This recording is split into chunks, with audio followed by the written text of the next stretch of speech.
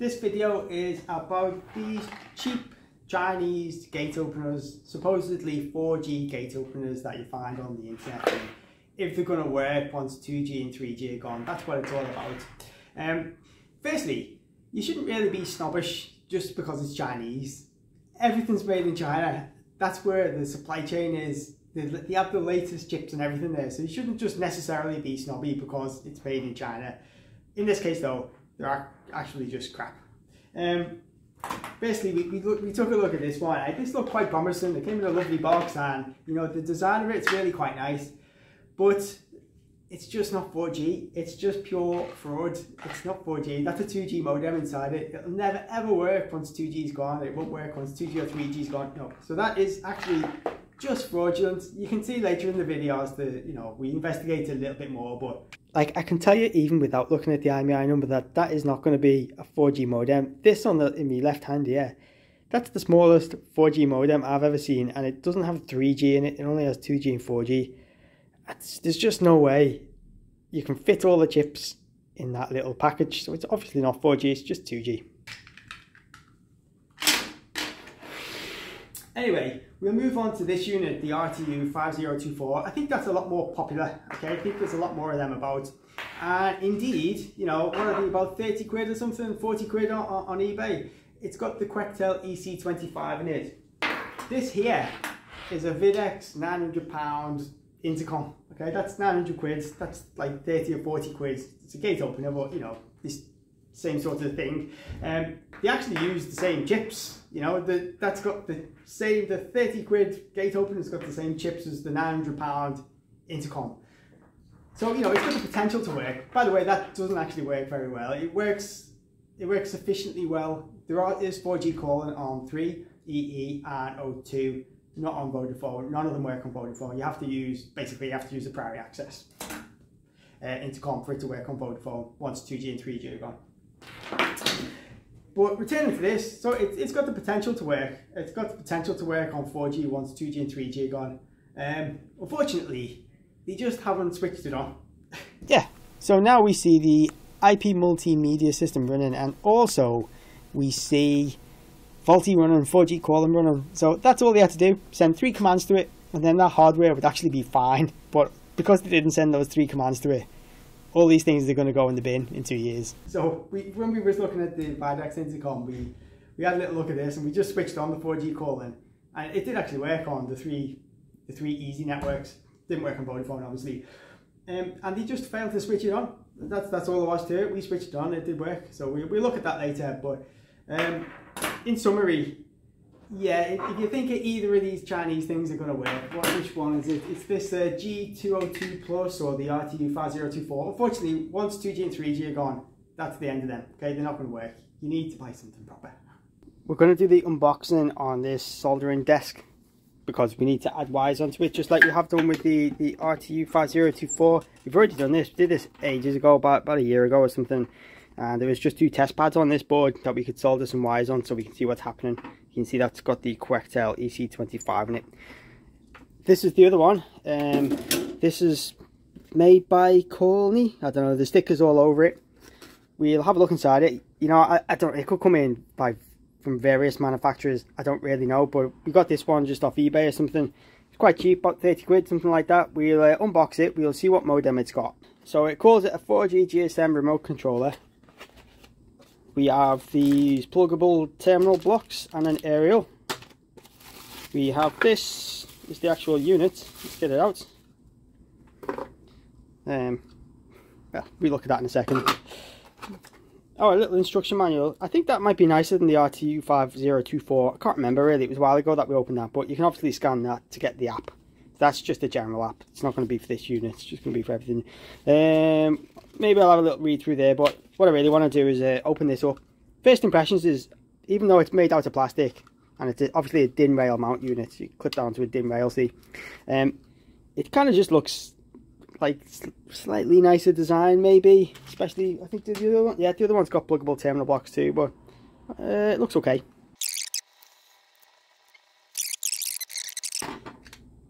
Okay, so there we go. Um, right then. Well, that looks quite small for a 4G modem. there's a very easy way to find out actually, even without removing the sticker. If that's the IMEI number, you can just find out what modem it is by typing the IMEI number into Google. So let's see what that is there. Other than the modem though, it's actually quite nicely designed. I really quite like it. It's uh, very compact. It has a switch mode power supply, so it should be quite efficient. Um, yeah, the layout's really quite nice. How does that work? Is that open, is it? Yeah, just put our little micro SIM in there. Actually, it's really nice little board. To see what chips this thing's got in it, I've gone to imei.info, I've typed the IMEI number written on the can, and I've also confirmed that I am actually a human. So let's check that out and see what it is.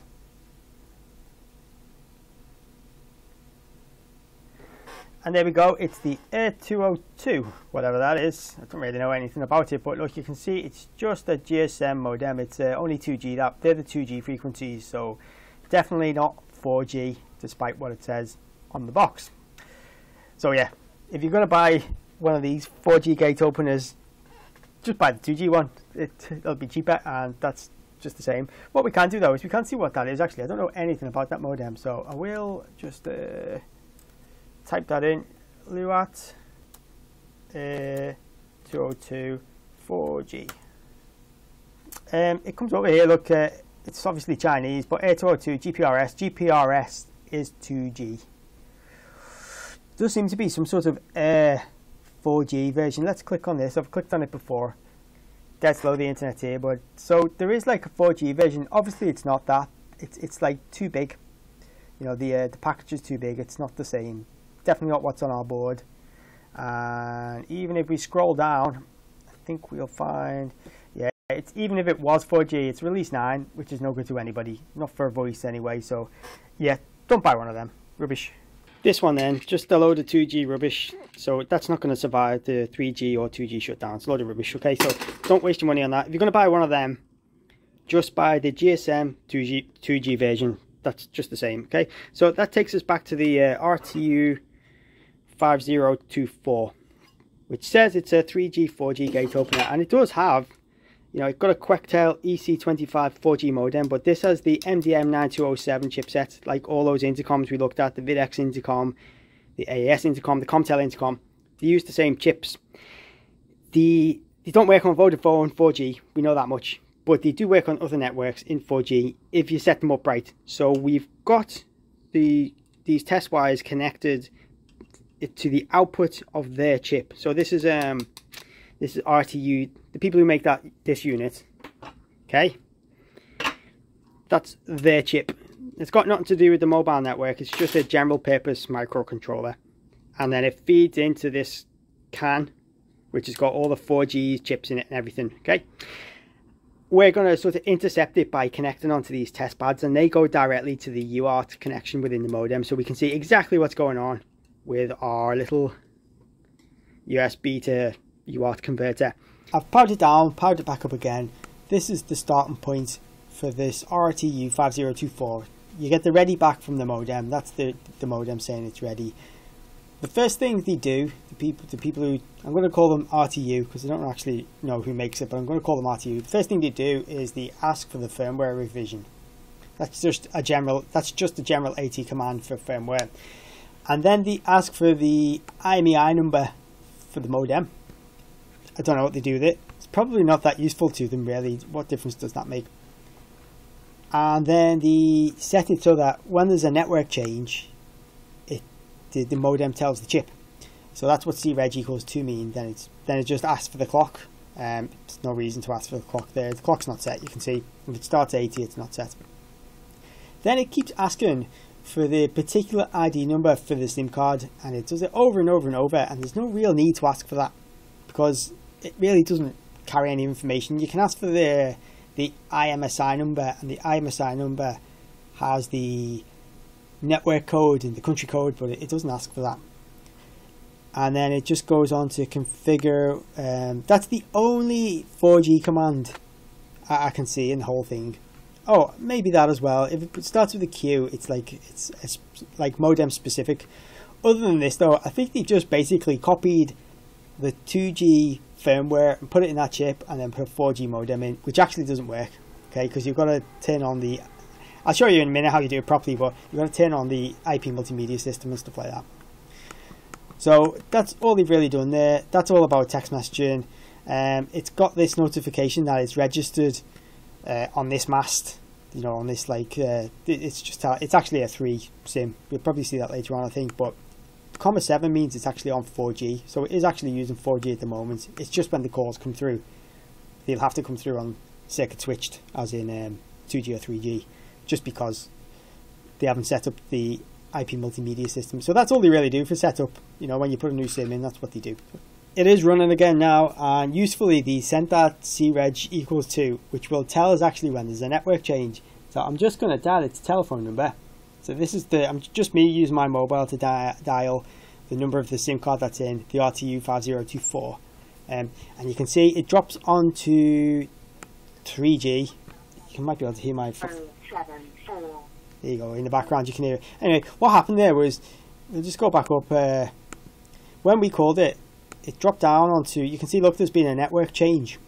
And comma 2 means it's 3G. So it's dropped down to 3G whilst it handles the call because it can't handle the call without the on 4G because there's no IP multimedia system. And then it goes back onto 4G. So that's why even though it's a 4G modem and it's got the same modem as the like the Videx and the AS and everything, that's why this thing can't handle any any 4G call. I'll show you a little bit more detail now. Hang on. I've changed things now. What I've done is I've plugged the wire into our, our little adapter board so I can start typing things into it. So we see QCFG equals IMS. If we query that, we can see nothing's running. Um, this is the IP multimedia system for these chipsets. It's telling us that it's switched off and so there's no 4G calling. So comma zero there means the IP multimedia system switched off and comma zero there means the 4G calling is not working. Okay, so no matter what sim you put in it, like even though it's totally capable, even though the actual hardware is totally capable of making 4G calling on the three easy networks, that is EE3 and O2, they just haven't enabled the IP multimedia system. So it's really easy to do as well. There's two things you have to do. We'll go back to our startup script. I'll copy a little bit in from our startup script. Firstly, you need to actually tell it for starters what they haven't done is they haven't told it that there's only one aerial because these are designed for two aerials. So I'll just do that now. Okay, and then the next thing you need to do with you need to turn the auto select off because it always gets it wrong. Okay, so we just turn the auto select off on that. That's about the modem binary files. That tells that sets up that sets up the uh, IP multimedia system for your network. So we, we're just going to tell it to don't do it automatically. We're also going to tell it to just use the standard st standard settings, 3GPP standard settings for like a, a, typical network. Okay, and then if we need to customize it, well, we can customize it with that command. But um, I'm just going to start up the IP multimedia system. And I'm also going to tell it because I wanted to use um, I wanted to use call the IP multimedia system for both um, SMS and 4G calling, and it basically me putting 03 at the end there tells it to do that. It tells it to use the IP multimedia system for SMS and calls. So I'll send that. Okay, now even if you just go AT plus, even if you just check now before, oops, typed it wrong, equals, no, do it right this time. Uh, Q config equals IMS. Now let's just see if the IMS is actually switched on. Okay, it says there's no 4G calling, but we haven't rebooted it yet. But yeah, now we've just switched it on. So really, to get this working, it was as easy as just sending this one command through. Uh, you kind of need them all, admittedly. Yeah, you need those three commands really to get it to work. But that's how easy it could have been for them to do it. But they just didn't do it because they don't know, and they just put the 2G software in the 4G unit, and I thought it'd work, and obviously it doesn't. I'll, I'll demonstrate it working now. One second. that's it. That's it being restarted now. It's just power down, power back up again. We'll see how it gets on. I'll, um, oh, there it is. Yeah, so we can see it's back on 4G on this network. It's a different mast, I think. Maybe that's the same mast as before. I don't know. Anyway, it's just changed mast, but it's still on 4G. So I'm going to ring the telephone number, and hopefully this time we'll see it actually not change, not change networks like it did before. So let's give it a call. let's try it. 3SIM. I'll put the speaker on. There it is. Four, four, seven. So what what you um what you didn't see there is you didn't see the uh, the creg command saying it's turn change to a different network and come back to that one. And also what we'll do is we'll just check to see if the IP multimedia system is running. Um, so let's do AT plus Q CFG equals IMS. Yeah. So now we see the IP multimedia system running and also we see VoLTE running, 4G calling running. So that's all they had to do. Send three commands to it and then that hardware would actually be fine. But because they didn't send those three commands to it, all these things are going to go in the bin in two years. What a waste.